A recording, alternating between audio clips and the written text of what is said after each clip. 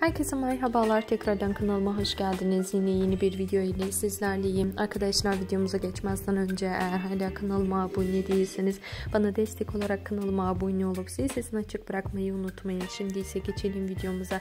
Depremle alakalı Kıvanç Tatlıtuğ 200 bin TL'de e, yardım amaçlı bağışta bulundu. Arkadaşlar şimdilik benden bu kadar olsun. Sizlere iyi seyirler diliyorum. Diğer videolarımızda görüşmek üzere. Hoşçakalın.